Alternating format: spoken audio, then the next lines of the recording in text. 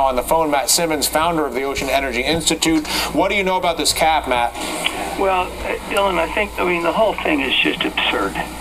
The, it, it all goes back to their to their concept that all of the oil that's now killed the Gulf of Mexico is coming out of, out of, out of some cracks in the drilling riser, as opposed to the open hole several miles away that's still spewing 120,000 barrels a day of oil, toxic oil, into the Gulf of Mexico. And I think enough's enough. I think it's time for our government to tell them, no, get off the air, stop your advertisement, stop deceiving the public, Uh, and and put the military in charge and send a submarine down and actually find the open hole, so we at least know where it is.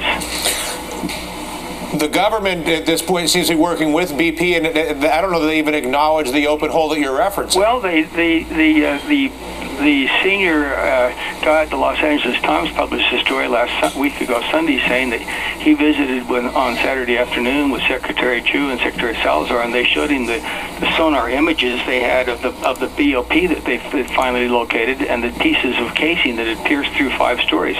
So I'm not sure why they haven't made that more public. I think maybe they're just confused that they don't want to alarm people because BP is so certain that it's all coming from the drilling riser. But, it couldn't be a, a, a six-inch annular or seven-inch annular, even though it's a mile long, could not have basically covered the, the Gulf of Mexico with four to five hundred feet of this toxic oil. Could not. Period. But I guess the the issue of acknowledging or denying the existence of the massive hole a few miles away as a result of the blowout. Well, if they acknowledged it, they'd go to jail and their fortunes would be over. So they can't. It's the big lie. But so, the, but are you suggesting the government is complicit in facilitating the lie, much as we saw with the financial I, industry? I don't think they're intentionally doing it. I think they're just basically confused because so many people keep saying BP is such a good company.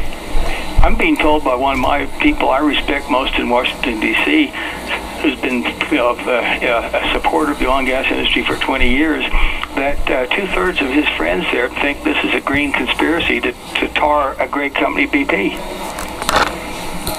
And that is so, so, you're basically saying the, the, denial and division and poison that has overtaken our political conversation, and more importantly, the